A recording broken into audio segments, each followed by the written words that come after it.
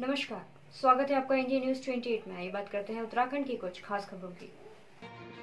उत्तर प्रदेश के हल्द्वानी में वैक्सीन की कमी पर बोले भगत। कोविड के प्रभारी मंत्री वंशीधर भगत ने राज्य में लगातार हो रही कोरोना वैक्सीन की कमी पर बोलते हुए कहा कि राज्य में वैक्सीन समाप्त नहीं हुई है। हाँ ये ज़रूर है कि कई जगह वैक्सीन की कमी है, क्योंकि उत्पादन के हिसाब से ही वैक्सीनेशन का आवंटन हो रहा है। लेकिन जल्दी हालात सामान्य हो जाएँगे और भारी मात्रा में वैक्सीन उत्तराखंड को आएगी और लोगों को लगाई जाएगी। फ़िलहाल जितनी वैक्सीन है, वह सबको लगाने का कार्य किया जा रहा है।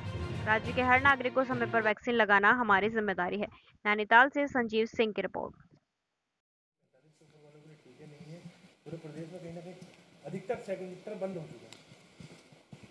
नहीं, टीके नहीं है, ऐसा नहीं है, लेकिन कमी थोड़ा हो रही है, क्योंकि उत्पादन जितना हो रहा है, उस हिसाब से लगातार चल रहा है।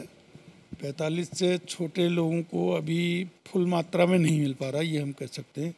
हमारे सर गोविंद सुयाल में चल रहा है डिग्री कॉलेज में चल रहा है नैनीताल में चल रहा है रामनगर में चल रहा है सभी जगह चल रहा है लेकिन कम मात्रा में है।